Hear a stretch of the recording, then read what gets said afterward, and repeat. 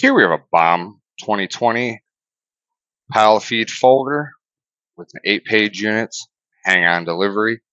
There's three plates in the eight page units, three plates in the parallel. This unit's powered off 230 volts, single phase power. Control station.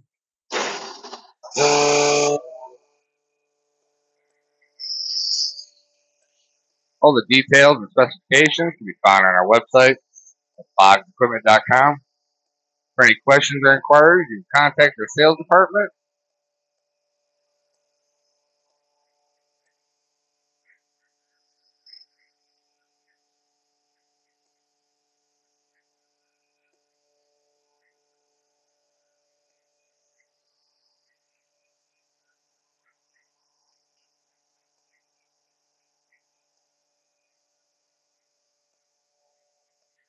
Here again, we have the Baum 2020